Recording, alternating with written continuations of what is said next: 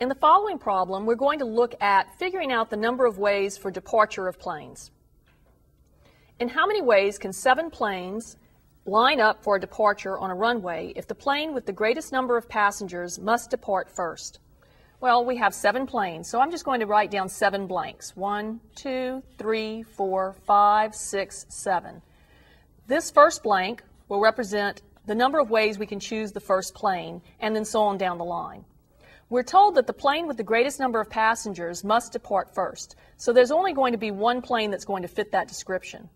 After that, we go back to the fact we have six planes left to choose from, and we don't have any criteria for what has to happen second. So we're going to have six different ways the second plane can depart, five ways the third plane can depart, and then on down the line, 4 times 3 times 2 times 1, as we're just dropping one choice as we go along.